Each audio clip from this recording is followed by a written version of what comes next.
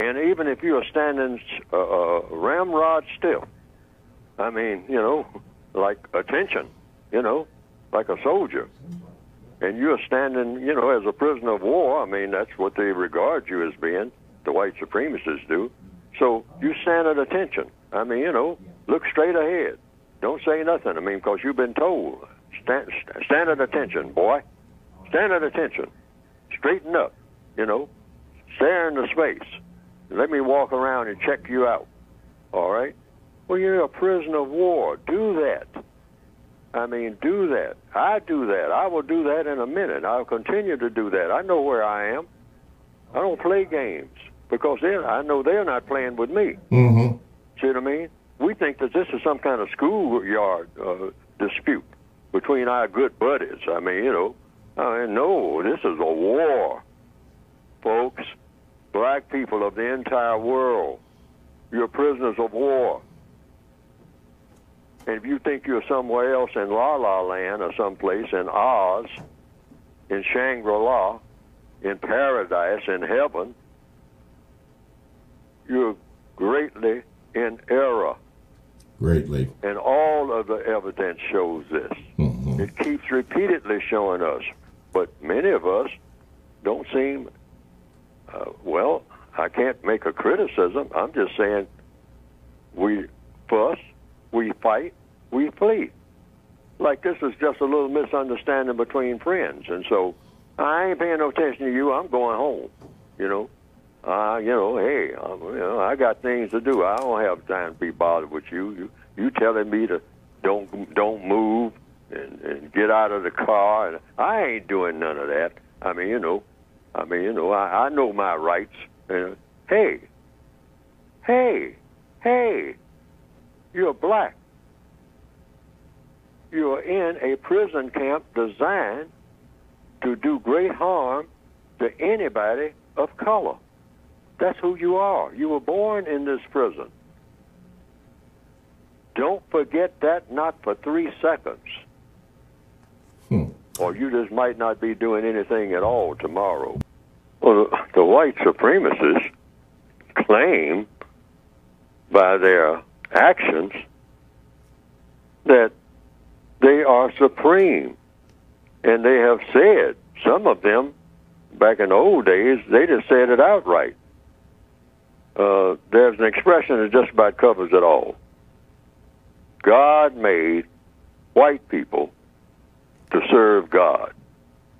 Now, this is what a white supreme, a person who said he was a white supremacist Uh-huh. said. Said, "Hey, f- said people, uh, you know, they they act like they don't understand our philosophy. We're gonna make it clear."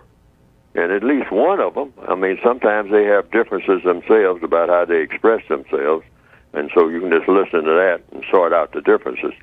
But at least one of them said back in the 19, as far back in the 1940s and 50s, he said, look, it's not complicated.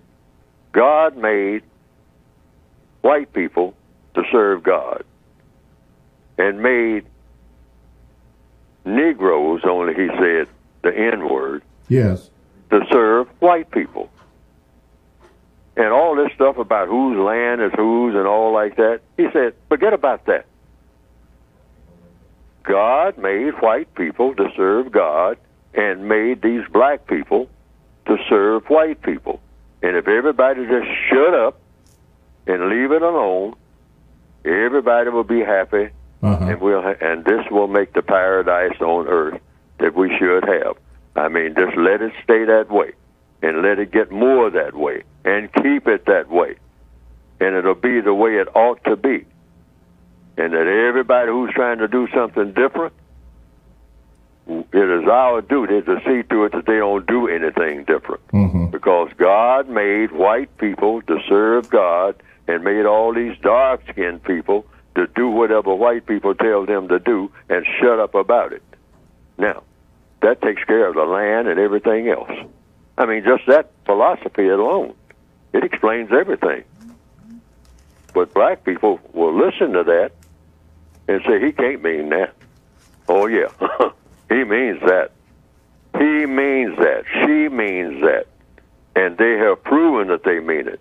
So all this stuff about we built the pyramids and and our ancestors came from this place, that doesn't mean anything to a white supremacist. Boy, I don't care where you are from. When you run into me, you do what I say. Do you understand that? And if you don't understand it, I can make you understand it because fell on you.